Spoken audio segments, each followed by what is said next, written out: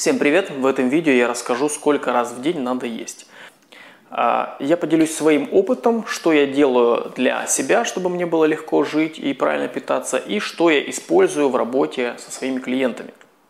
Тем, кто хочет какой-то сухой конкретики, людям с техническим складом ума, которые мыслят э, преимущественно цифрами, скажу сразу, от 2 до 4 раз в день. Но если вы думаете, что нахватавшись каких-то кусочков а, ценная информация, э, слепив вот те элементы, которые вам больше всего понравились, вы получите какую-то классную систему, то получите вы, скорее всего, дулю с маком. Например, вы вышли э, на какую-то барахолку с автозапчастями, нахватали колес, которые вам больше всего нравятся, там руль, который вам нравится, двигатель, который вам нравится, потом притащили всю эту кучу хлама к себе в гараж и пытаетесь сделать супер классный автомобиль. Не обладая специальными знаниями, не разбираясь глубоко в автомобилях, вы не сможете построить с этого никакой автомобиль вообще не то, что классный. В данной теме тоже очень важно понимать, что вы делаете, зачем вы это делаете и как это все будет сочетаться друг с другом. Почему от двух до четырех раз в день? Потому что питаясь меньше двух раз в сутки,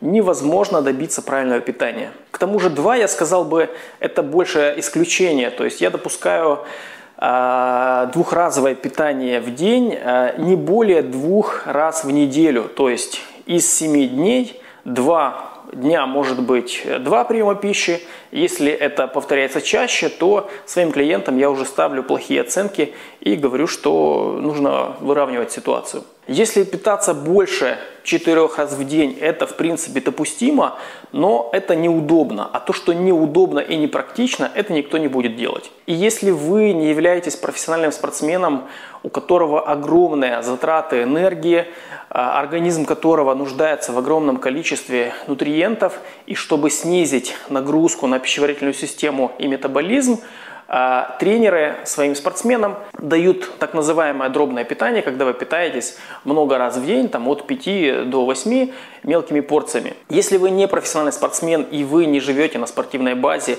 э, где вы можете э, легко, удобно и практично принимать э, вот эти порции еды, то вам это просто будет портить жизнь. Многие люди, страдающие ожирением и желающие похудеть, в поисках э, каких-то новых фишечек приходят к дробному питанию. Почему это так? Да потому что есть привычка много потреблять еды и а, заняться собой комплексно, то есть внедрить тренировки, внедрить правильное питание полностью, совместив это с тренировками, чтобы это давало результат, сил как бы нет, а вот что-то одну вот они как бы пытаются делать.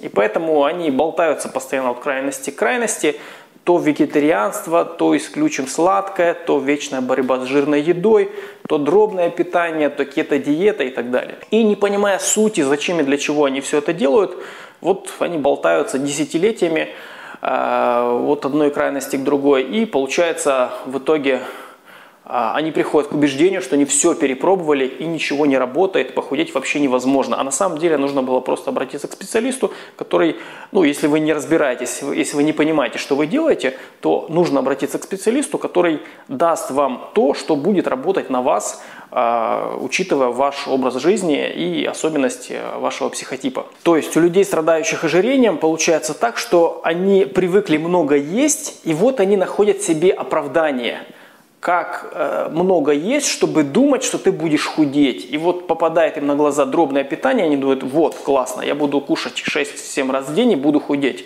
Вот крутые спортсмены так делают, я тоже так буду делать, поэтому я на правильном пути и все хорошо. Но по факту почему-то вы только набираете, набираете, набираете, и ни к чему хорошему это не приводит. Поэтому, э, как ни парадоксально, но обычно дробное питание – в неумелых руках – это путь к ожирению. Для человека, который занимается фитнесом и правильным питанием не для того, чтобы достигать каких-то максимальных результатов, который не готов подстраивать всю свою жизнь под тренировки, для него оптимально питаться от 2 до 4 раз в день. Утром, когда вы дома, вы можете принять нормальный, полноценный, я бы даже сказал, идеальный прием пищи. Вы можете сами приготовить себе еду, и вечером вы можете сделать то же самое.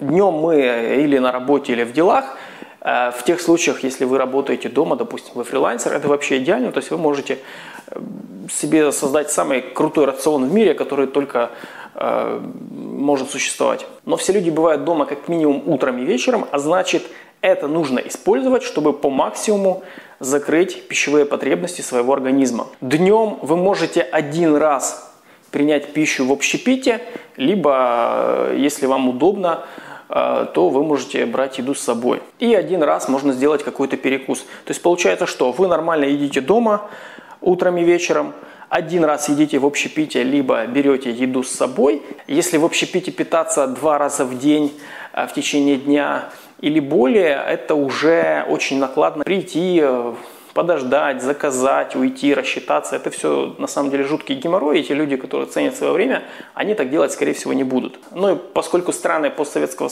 пространства, это, это вам не Австралия, это вам не Германия, это не Соединенные Штаты Америки, и здесь проживают не самые богатые люди, поэтому нужно исходить из реалий. А реалии таковы, что для большинства людей питаться в общепите – это довольно-таки дорого, да и к тому же еда там далеко не самого идеального качества, потому что общепит думает, как сделать так, чтобы э, побольше заработать на еде. То есть положить туда поменьше ингредиентов, чтобы порция оказалась большой, максимально вкусной, э, и э, чтобы вы побольше оставили там денег. Ну, к примеру, в общепите очень сложно встретить фрукты, практически нигде их нет.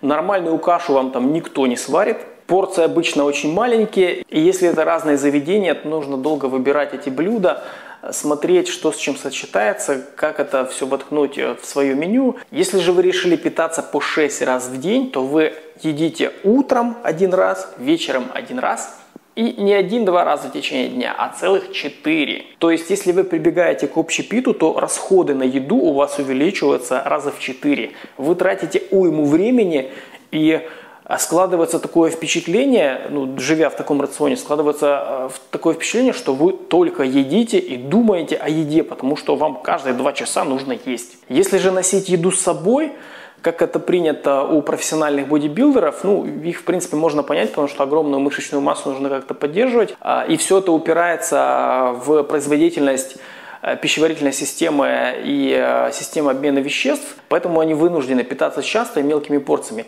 Тем, кто не весит 120 килограмм и не собирается набирать огромные э, объемы мышц, вам не нужно питаться по 6 раз в день. И это для вас огромный плюс. Потому что ходить с большим количеством контейнеров и постоянно есть где попало – как правило, холодную еду, это неудобно, непрактично, это все нужно готовить, это все нужно складывать. Короче, это жуткий геморрой. И если для вас это не является необходимым, то лучше вообще в это не углубляться. Я лично питаюсь в среднем 3 раза в день.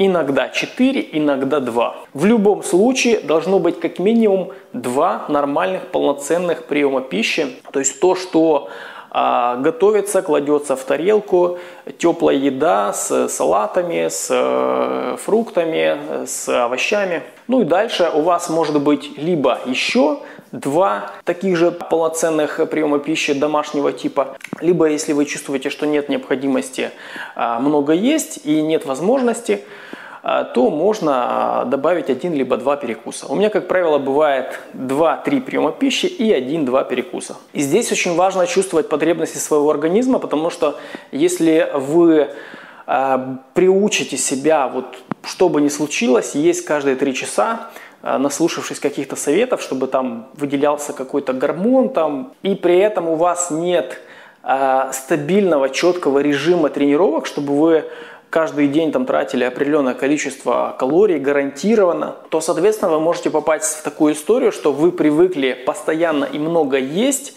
но вы не тратите столько энергии, э, и ваш организм не нуждается в таком количестве нутриентов, которые вы в себя запихиваете. Соответственно, тут вариантов два. Либо вы разжиреваете, э, либо эффективность системы пищеварения сильно падает, и лишняя еда просто уходит в унитаз, параллельно также зашлаковывается ваш организм и размножается патогенная микрофлора в вашем кишечнике, что отражается на а, качестве вашей кожи, особенно лица, а, состоянии зубов и свежести дыхания. Также буквально сразу у вас меняется запах тела в худшую сторону. Поэтому очень важно чувствовать потребности своего организма и есть тогда, когда вы действительно хотите есть. Но при этом приучить себя к определенному порядку. То есть утром надо поесть, потому что у вас есть возможность. Если вы даже утром не хотите есть, то нужно поесть чего-то поменьше, полегче. Естественно, нужно а, очень хорошо научиться угадывать свои пищевые потребности и предпочтения. То есть еда должна быть вкусная, не только правильная. Это важно, потому что невкусная еда плохо переваривается и плохо усваивается. Ну и таким образом, выработав привычку есть утром и вечером, в течение дня э, вы можете есть э, уже по желанию. В итоге через некоторое время вы научитесь правильно питаться и давать своему организму то, что нужно, когда нужно и сколько нужно. Потому что суть правильного питания не в том, чтобы следовать каким-то шаблонам, а подражать каким-то спортсменам, делать так, как общественное мнение считает правильным, суть в том, чтобы ваш организм получал то, в чем нуждается, в нужных количествах, чтобы каждая клетка вашего организма получала то, в чем она нуждается. Белки, углеводы, минералы. Чтобы все это внедрить и получить хороший результат, нужно расслабиться, включить мозги, увидеть общую картину, понять, как, для чего, э, что вы вообще делаете, и дальше потихоньку двигаться вперед. Э, людям с техническим складом ума бывает очень сложно. То есть они хотят каждый день такое-то количество калорий, вот утром это, вечером это, вот столько этого, этого, такое блюдо, такое. И э, можно расписать такой рацион, э, но через пару недель вы приходите к тому, что он почему-то невкусный.